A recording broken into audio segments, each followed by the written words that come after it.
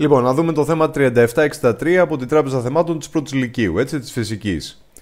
Θέμα Β, Β1. Μία σφαίρα μάζας μη βάλετε από την επιφάνεια του εδάφους κατακόρυφα προς τα πάνω.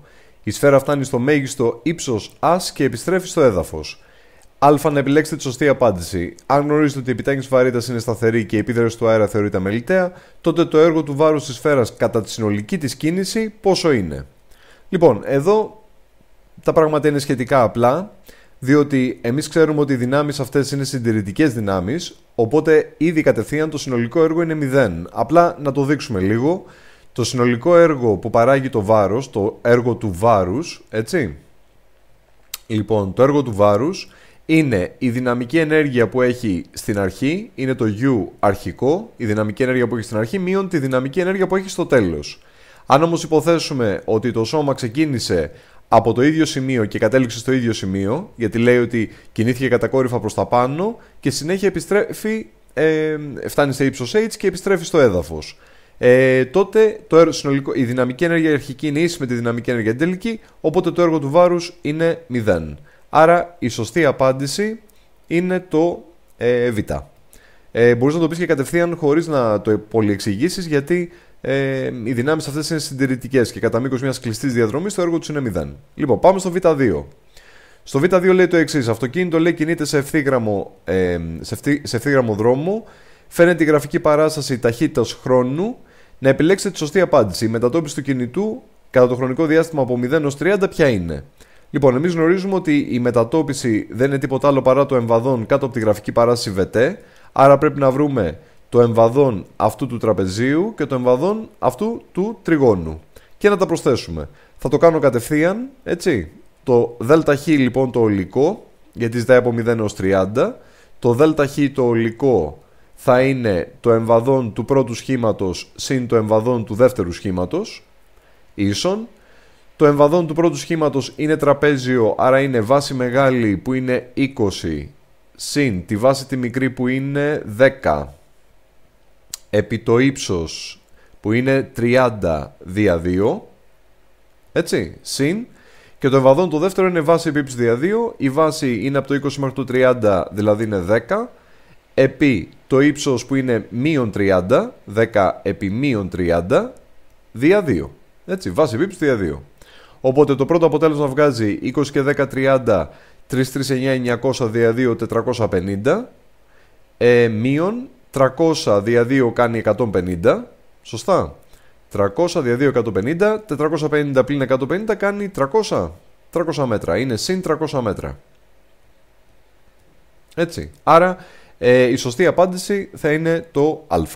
Να το βάλουμε. Σωστή απάντηση είναι το α. Είναι συν 300 μέτρα. Βρήκαμε τα δύο εμβαδά. Έτσι. Ε1 και ε2. Λοιπόν, πάμε στο θέμα το δ. Στο θέμα το δ λέει το εξής. Μικρό σώμα λέει μάζας 2 kg, βρίσκεται αρχικά κίνητο σε οριζόντιο επίπεδο, εμφανίζεται στην τελεστή τριβής 0,5.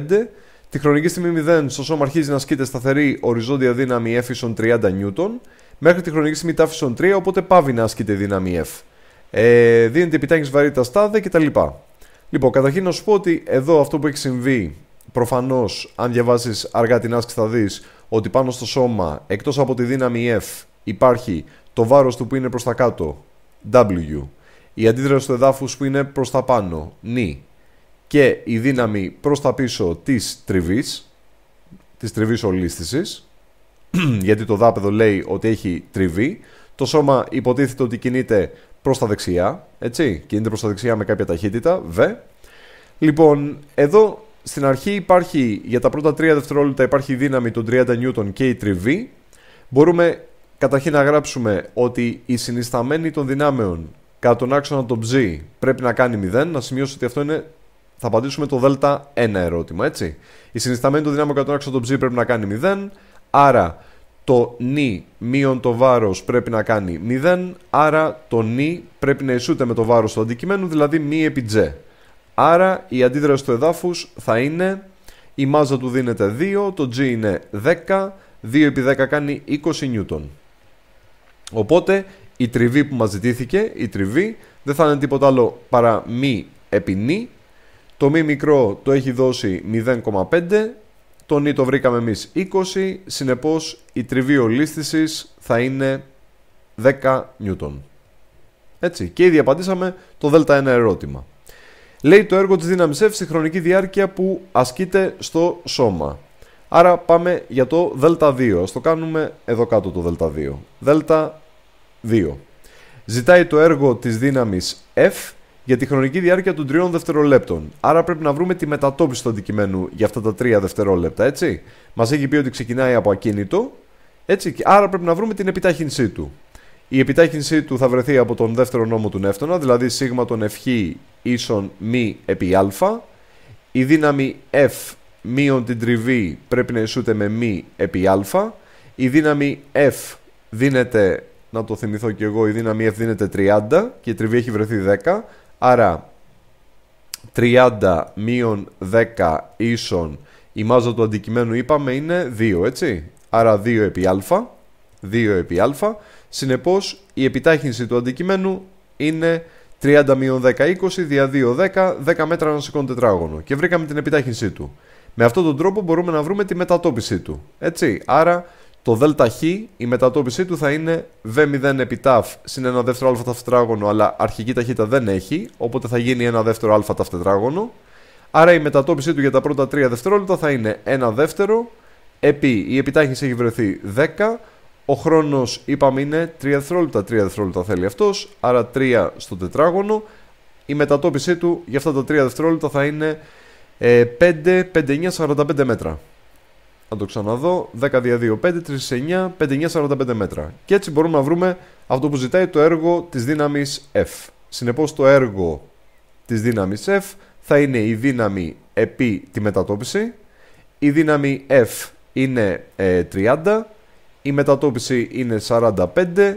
Οπότε θα γίνει 3, 5, 15, 5, 1, 3, 4, 12 και 1, 13, 1350 τζάουλ. Αυτό είναι το έργο που παρήχθη. Ε, να το ξαναδώ, 3, 5, 15, 5, 1, σωστά. 1350 τζάουλ. Αυτό είναι το έργο που παρήχθη από τη δύναμη F. Λέει τη χρονική στιγμή που το σώμα θα σταματήσει να κινείται. Πάμε στο Δ3 λοιπόν ερώτημα. Στο Δ3 ερώτημα πρέπει να σκεφτούμε καταρχήν να βρούμε την ταχύτητα που έχει πιάσει στο τέλος των 3 δευτερολέπτων. Η ταχύτητα που θα έχει πιάσει θα είναι Vation α επί t, οπότε η επιτάχυνσή του είπαμε είναι 10, κινείται για 3 δευτερόλεπτα, άρα κινείται εκείνη τη στιγμή με ταχύτητα 30 μέτρα ανά σεκόντ. Αυτή είναι η ταχύτητά του τη στιγμή που ε, ε, πάβει να ασκείται η δύναμη F, γιατί λέει ότι τη χρονική στιγμή 3 πάβει να ασκείται η δύναμη F. Άρα ποια δύναμη απομένει στο σώμα, απομένει η τριβή. Οπότε το σίγμα των F κατά τον άξονα των Χ θα ισούται με μη επί α η δύναμη που έχει απομείνει είναι η τριβή, άρα μείον τριβή ίσον μη επί α. Η τριβή δεν έχει αλλάξει, γιατί εξαρτάται από την αντίδραση του εδάφους που δεν έχει επηρεαστεί, άρα η τριβή παραμένει 10, οπότε θα είναι μείον 10 ίσον η μάζα του αντικειμένου είπαμε είναι 2. Είναι 2. Άρα 2 επί α. Οπότε η καινούργια επιτάχυνση που έχει, το αλφατόνος ας πούμε, έτσι ας το ονομάσουμε αλφατόνος αυτό καλύτερα, Λοιπόν, η καινούργια επιτάχυνση που έχει θα είναι πλην 5 μέτρα ανασεκόντ τετράγωνο. Με αυτόν τον τρόπο το σώμα επιβραδύνει με αποτέλεσμα κάποια στιγμή να σταματήσει. Άρα τη χρονική στιγμή που το σώμα θα σταματήσει να κινείται θα είναι θα πάρουμε τον τύπο της ευθύγραμμης ομαλά επιβραδυνόμενης, Vation V0 πλην ΑΤ. Θυμίζω ότι αυτό είναι απόλυτη τιμή. Η τελική ταχύτητα θέλω να είναι 0. Την αρχική ταχύτητα που είχε την έχουμε βρει 30 πλην η επιτάχυνσή του είναι το 5 επί το χρονικό διάστημα το ταυτόνος ας πούμε. Άρα το χρονικό διάστημα που θέλει για να σταματήσει θα είναι ταυτόνος ίσον. Αυτό κάνει 30 δια 5, 5 6 30, 6 δευτερόλεπτα. Άρα το χρονικό διάστημα που θέλει για να σταματήσει είναι 6 δευτερόλεπτα, οπότε το ταφ θα είναι 3 συν 6, θα έχει σταματήσει το 1 το δευτερόλεπτο. Έτσι, 3 δευτερόλεπτα που έκανε στην αρχή ε, υπό την επίδραση της F και άλλα 6 που θέλει για να σταματήσει. Αυτό είναι το Δέλτα 3. Και Δέλτα 4 είναι τη μετατόπιση του σώματο χρονικής τιμή 0 μέχρι να σταματήσει την κίνησή του. Ευτυχώς έχουμε κάνει αρκετή προετοιμασία. Το μόνο που θα χρειαστεί για το Δέλτα 4 θα είναι να υπολογίσουμε το τελευταίο κομμάτι της κίνησής του. Συγγνώμη, δεν έχουμε υπολογίσει και το προηγούμενο. Ε; Όχι, το έχουμε υπολογίσει. Είναι 45 μέτρα το πρώτο. Άρα χρειαζόμαστε να βρούμε και το δεύτερο κομμάτι της κίνησής του. Το ΔΧ τόνος θα είναι V0 επί ταφ πλην ένα δεύτερο α ταφ τετράγωνο. Το V0 η ταχύτητα του όπως είπαμε είναι 30, άρα 30 επί το χρονικό διάστημα είναι 6 δευτερόλεπτα που φρέναρε, 30 επί 6, συγγνώμη, αλλά ακούστηκε το κινητό οπότε πρέπει να το κλείσουμε. Λοιπόν, 30 επί 6, ε, πλην ένα δεύτερο επί η επιτάχυνση είναι, όπως είπαμε, το α τόνος έχει βρεθεί 5 επί 3 στο τετράγωνο. Επί, συγγνώμη, 6 στο τετράγωνο. Το τηλέφωνο μας έμπλεξε. Λοιπόν, δεν πειράζει. Ίσον, από εδώ θα βγει 3618 180 συγγνώμη, 180 πλην 6636 δια 218 18 επί 5, 515, 5840, 90. Άρα έκανε 90 μέτρα επιπλέον. Οπότε το συνολικό διάστημα, το ΔΧ, το ολικό που χρειάστηκε, θα είναι το άθροισμα ΔΧ και ΔΧ τόνος. Το πρώτο ΔΧ το είχαμε βρει 45 μέτρα, αν δεν κάνω λάθος, σωστά, 45. Συν έκανε άλλα 90 μέτρα για να σταματήσει. Άρα συνολικά 135 μέτρα. Και έτσι απαντήθηκε και το ΔΕΛΤΑ 4. Συγγνώμη για το χτύπημα του κινητού, αλλά δυστυχώς συμβαίνουν και αυτά. Λοιπόν, αυτό είναι από τη χρονική στιγμή 0 μέχρι να σταματήσει την κίνησή του. Ε, θα επανέλθω σε επόμενο θέμα. Καλή συνέχεια.